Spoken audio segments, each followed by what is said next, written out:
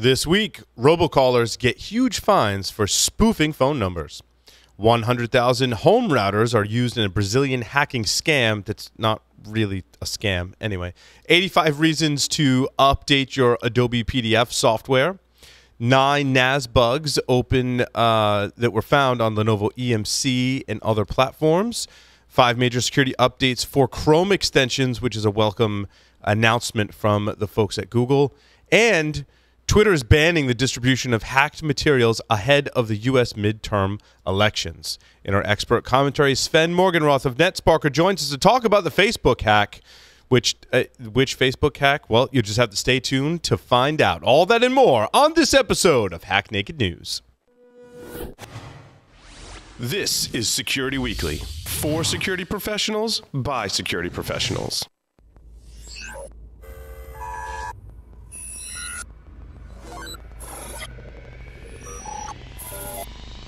Broadcasting live from G Unit Studios in Rhode Island, it's the show that brings you the security news each week. And despite popular belief, we do wear pants. It's Hack Naked News. The breach was huge news at the time. Linux monitoring tool. List of affected devices. You can check out the link in the show notes. Ars Technica is reporting that hackers have cracked the Nintendo Switch this week. Tracking people's locations and stuff like that. You'll want to be rolling out updates if you're using Lenovo hardware.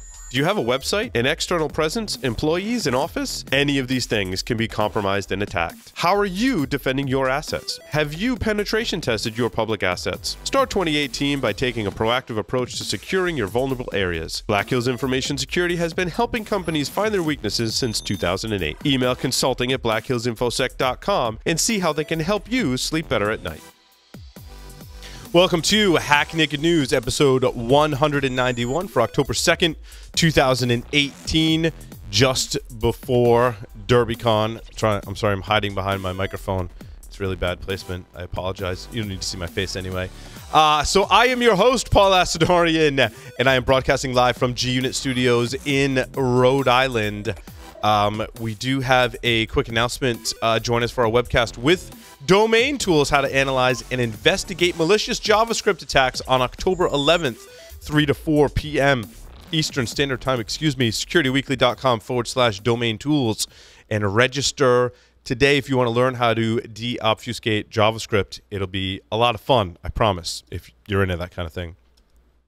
And now, the security news for this week. Robocallers have been slapped with huge fines because they're spoofing people's phone numbers. We need more of this, well, more of the cracking down on this, right? Uh, the calls, uh, and I quote from the article, the calls appear to come from unassigned phone numbers and phone numbers assigned to prepaid or burner phones, according to the FCC. The caller ID was spoofed in every one of the millions of calls making it impossible to identify who is actually calling. The FCC pointed to one poor soul whose phone number was hijacked in order to make those calls. The Arizona woman said she received more than five calls a day on her phone, all from coming from irate people complaining about the telemarketing calls they got from her phone number. So just when you thought you were having a bad day, there you go. 100,000 home routers have been recruited to spread a Brazilian hacking scam Again, don't be misled by the headline. This is not actually a scam. What it actually is, is attackers gaining unauthorized access to your home router. Now, this attack where they change your DNS servers has been around in the wild for 10 years and even predates uh, even predates that. Uh, the first I saw of this style attack was actually in Mexico, uh, and it's still happening today. The article says the attackers were trying to get control of the target machines either by guessing the web admin password or through a vulnerable DNS configuration uh, CGI script. If they get control of that device, they change the router's DNS server to their own rogue machine. It's a timeless, ageless attack. And yes, it was a slow news week. So there you go. If you haven't updated your PDF software lately, here's 85 reasons to do so now because PDF readers have become such a popular target for email and web based malware attacks, according to the article, which I completely disagree with. They say that users and admins alike would do well to test and install updates as soon as possible, as exploit laden PDFs have been uh, exploit laden PDFs have for more than a decade proven to be one of the most reliable ways to put malware on someone's machine. Except that malware being distributed by PDF document is really kind of like 10 years ago, maybe five years ago. I think that most email protection solutions will spot a malicious PDF, and oftentimes they don't really target an exploit. I think an Office document is a far more popular and tried and true method, as embedding macros inside of Office documents uh, is very, very effective, and often doesn't require that your your software be vulnerable to a particular exploit, which I think it makes it more attractive to attackers. I have absolutely no data on hand to back that up. That is just my opinion feel free to, to write me, paul at securityweekly.com. We can debate it. Nine NAS bugs uh, have been uh, open to Lenovo EMC iOmega devices. And uh, so lots of steps here. I actually, uh, Jason Holcomb was the, the researcher. Hi, Jason. Uh, awesome research. There are some steps um, that you have to take in order to successfully exploit this attack. Uh, a hypothetical attack would first include luring an, un, an authenticated NAS user of one of the devices to a specifically crafted website designed to steal the user's access token and a session cookie like identifier called C parameter. So essentially, you have to be logged into your NAS device, then you have to visit a malicious site. So those, those that's just the first two things. Then the next step in the attack, after acquiring the NAS's uh, token, is finding the static IP address of the NAS. Again, not impossible, but you, would have to do some brute forcing uh, to figure out what the IP address is. Um, I don't think you need to sound the alarm on this one. Uh, you should patch it, but I don't think it's a drop everything and patch, as pulling this off is is somewhat tricky, unless, of course, you're like our expert commentator today, Sven, in which case it's probably pretty easy. Uh, Google announces five major updates for Chrome extensions. Finally, some much needed controls for Chrome extensions. Chrome, of course, coming under fire this week, uh, last week, and this week for a, a, number of reasons. One of the things is if you're logged into your Gmail, it keeps you logged in uh, to your browser via your credentials without asking you. Uh, there's been a lot of scrutiny over, over Chrome and, and concern, specifically with extensions as well. But now, in an upcoming version of Chrome, users will be able to control when and how Chrome extensions can access site data, allowing them to restrict access for all sites, then grant temporary access to a specific website when required, or do things like enable permissions for a specific set of websites or all sites with Chrome 70 that will be released. Google will also start doing other things. There was a list of five, that was just a couple. Uh, they will uh, per, uh, start performing a more in depth review of extensions that are submitted to the Google Chrome Store uh, that use so called powerful permissions. So they'll get some extra scrutiny for extensions that need probably, I would guess, higher level privileges or those that could be abused uh, to do harm. So again, there's five total, uh, including more in-depth reviews. Uh, I said that. I put that in there twice for some reason. I guess I thought it was important. Uh, Twitter has banned distribution of hacked materials ahead of its U.S. midterm elections. Now, Twitter already had rules in place that prohibited the distribution of hacked materials that contain private information or trade secrets. But after Monday's update, the platform review teams will also ban accounts that claim responsibility for a hack, making hacking threats or issue incentives to hack specific people and accounts. Now, Twitter have, has, of course, been so diligent about enforcing policies and ridding the social network of bad behavior. Never mind. Never mind. And with that, we'll take a short break and come back with Sven to talk about the Facebook hack. Stay tuned. Today's determined attackers easily bypass even the most advanced network defenses. Trying to ramp up staff to detect their backdoors can cost thousands of dollars and take months, even years. With Active Countermeasures AI Hunter, we enable junior analysts to detect even the most advanced backdoors in a matter of hours. Sign up for a demo and purchase our product today by visiting activecountermeasures.com forward slash HNN.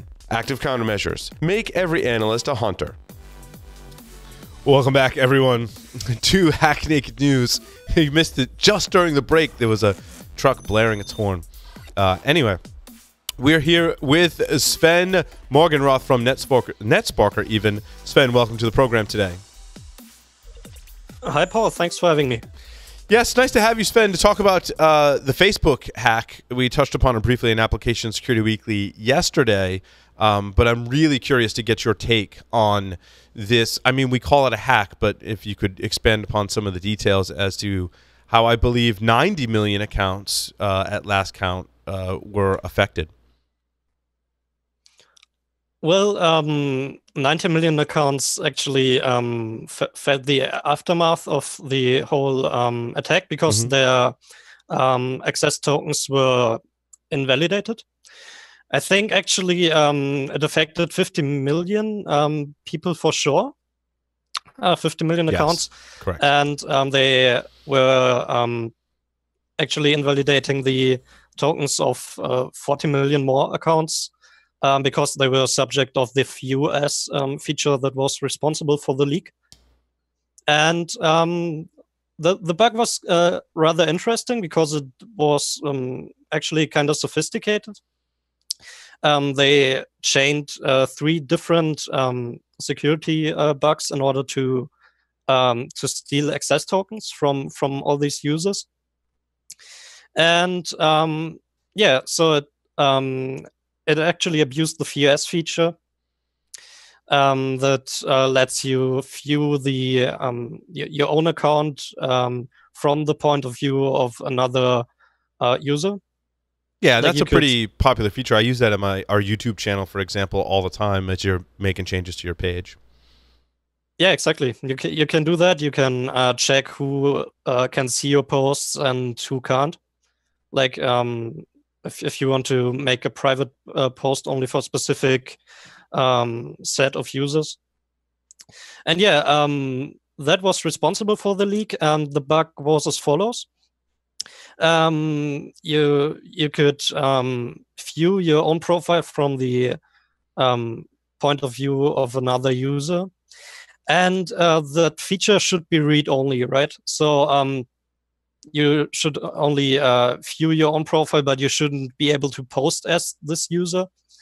Uh, but there was a bug, and uh, you were allowed to post a video. Actually, I think um, as the other user. Now that is uh, bad enough um, on its own, but that uh, video uploader also um, exposed uh, um, an access token, which is like the second bug and uh, that one was um, so so it's not a bug that it was exposed, but that it um, had the permissions of the mobile app actually, which uh, are kind of um, yeah very permissive actually, and um, yeah, so um, that uh, the that token wasn't um, generated for your own account, but the account you viewed um, you, you wanted to look up. So it, it actually allowed you to steal the access token of the user you wanted to look up. And um, yeah, so the the aftermath is quite um, uh, serious for, for Facebook. Um, they face a possible fine of um, I think I, I think 1.63 uh, dollars um, due to violations of the GDPR, the um, European Union uh, European Union's uh, general data privacy um, yeah um, regulation regulation exactly. think, yeah. so um, yeah uh, and that is uh, kind of bad. But um, i think most of the people are wondering why that uh, breach even happened. Because facebook has a bug bounty program and uh, it's easy to think that as soon as you start such a program that um, everybody who finds a bug will just report it. Yeah. Um, but, but that's, that's, what I was thinking. I mean, I, you know, I'm I'm trying to figure out how much Facebook pays out for bug bounties. Um, I did find a Wired article from this year. This is in 2017. Um, Facebook's bug bounty paid an average of $1,900 per bug. Now, I'm not sure. You said there was three uh, vulnerabilities correct that led to this attack, it, it's it's interesting to speculate how much they would have gotten from that. Um, in total, Facebook has paid out like 1.9 million dollars since they launched their bug bounty program. Uh, I'm sorry, uh, they've paid out more than six million dollars to security researchers over the years. I, I think it just might have been uh, an economic decision. You know, when they found these vulnerabilities, they said, "Well, if Facebook's paying an average of 1900 we don't know how much we'd get, but we know we can get a lot more by hacking all of these accounts and selling access to them or, you know, other such nefarious activities. What's your what's your take on that, Sven? Um, yeah, exactly. I mean, these um, uh, this is a decision you have to make, and um, for example, you you can with a bug bounty attract a certain set of hackers um, mm. that are willing to to search for vulnerabilities, report them to you, and uh, everything's fine.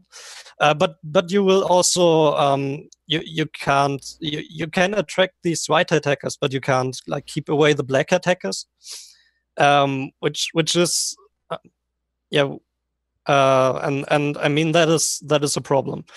Mm-hmm. Um, also, I, I, think that uh, Facebook is not a very attractive uh, bug bounty target for lots of people, um, mostly because it's so um, yeah, it's so popular, and uh, a lot of people will search for um, search for bugs there.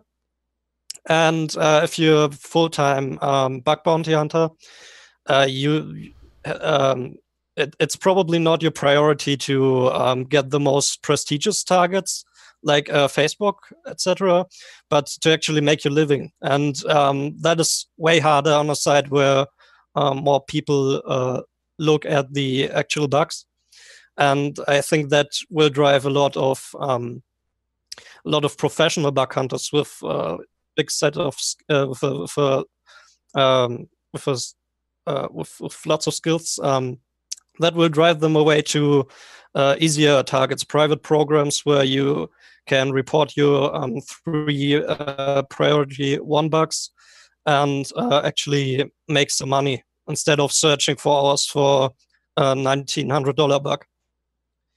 Yeah, um, I, that's a great point, Sven. Um, I, I, think the bug bounty program does uh, is flawed in that way. In that the motivation of the person or people finding the bugs is financial gain. I, I think in, in most cases, I don't want to speak for every bug bounter out there, but I think there is a certain population that's like, I'm going to make a, a living at this, or I'm going to I want to make money, and therefore their choices as to who to target and what types of bugs to find are driven by the economics, not by the most impactful to the organization hosting the bug bounty program. Excuse me, as as Facebook has might have experienced, right? Yeah, exactly. Um, also, I think there there's some some um, other um, problems with that. Uh, uh, some some stuff that went awfully wrong there. Uh, but because um, if if you think about it, um, that feature is uh, looks very very uh, prone to bugs. Actually, mm. like you can impersonate another user, uh, even though it's in a very limited uh, limited scope, and uh, you you can only view a profile as another user. But if if I would do some kind of uh, source code review or any pen test or anything, uh, that that would certainly be a focus area, I think. And uh, therefore, it's very uh, strange why um, nobody found that bug earlier. It was um, uh, there since at least uh, July, July 2017, if I remember that correctly. And um, yeah, I think it could have been prevented certainly if if if somebody just looked hard enough, even though it was uh, kind of sophisticated. Sure. Uh, anything? Uh, any other comments? Sorry, Sven, on on this story. Um, no, that's about it. awesome, Sven. Thank you so much. Thank you, everyone, for listening and watching this edition of Hack Naked News. We'll see you next time.